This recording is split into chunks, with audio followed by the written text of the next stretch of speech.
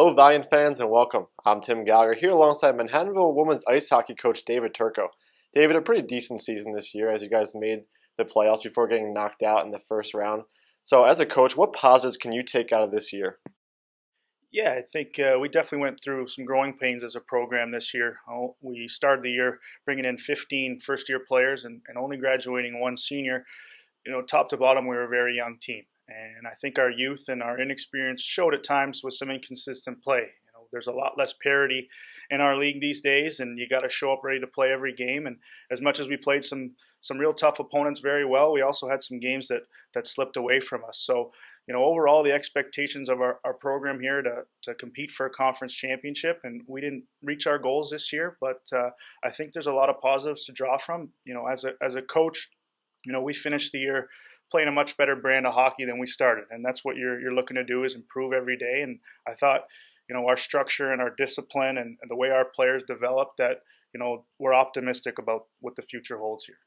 The team is very young. You guys only lose one senior this year, so you return every other player. So with that being said, uh, obviously there's going to be a leadership role for some players next year as there was this year. So what can you tell us about that as you do return the three captains coming back next year? Uh, are they ready to take on that role again? Yeah, I mean we're we're definitely excited about all that we're returning. You know, starting with the first year players coming back, you know, they were asked to log a lot of ice time. They were asked to play a lot of roles as as first and second year players, and we're excited about their development and, and them coming back with a year experience under their belt, and and with the juniors who really led our team this year, with the seven of them and, and three of them being captains.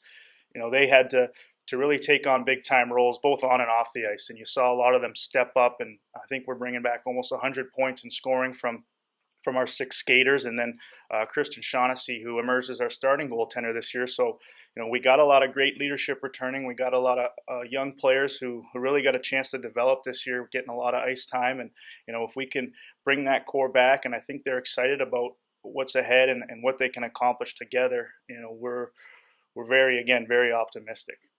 So the team as a whole, what will they need to do in the offseason to get prepared for next year? You know, I think they they saw how tough it is to win every day and, and how everyone's competing for that conference championship as opposed to a few years ago where maybe it was only a handful of teams. So they know they got to be prepared right from when they get back on campus next year and they're already doing their workouts and their off ice stuff trying to get bigger, faster, stronger and you know they got next season in sight already.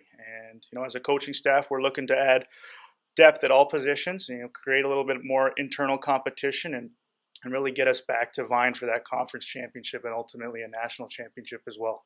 Well, Coach Turco, thank you for joining me here today. I'm Tim Gallagher alongside Manhattanville women's ice hockey coach David Turco. Until the next time, go Valiants.